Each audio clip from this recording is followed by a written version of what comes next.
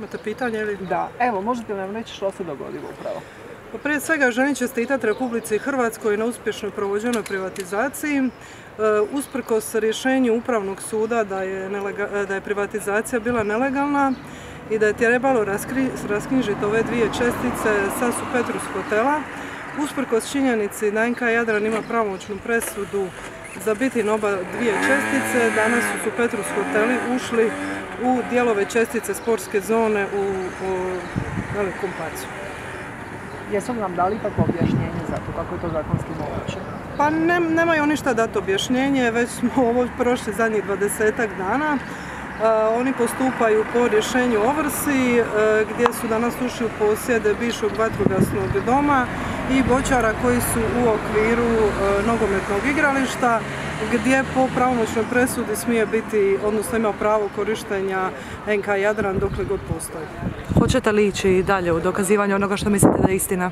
Pa mi smo već krenuli dalje, znači paralelno smo pokrenuli dosta tih e, pravnih e, pravnih akata, znači jedna je da se ovrha proglasi nedopuštenom, to je znači tužba e, koja tek sad kreće u proceduru, ona nije odgodila ovrhu.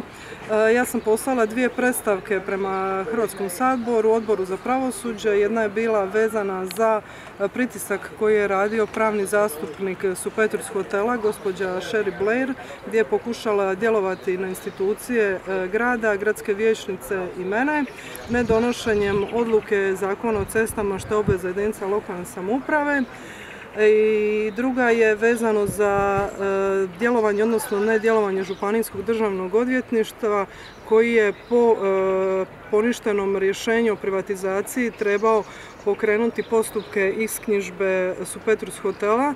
Zašto to ni dan danas još nije napravljeno, niko ne zna kazati, ali evo, grad Supetar je osim što je e, podnio predstavku prema Hrvatskom saboru da se detaljno ispita e, odgovornost i zašto se to nije napravilo, također smo prema e, Županijskom državnom odvjetništvu podnijeli ovaj, zahtjev za provedbom tog upravnog rješenja.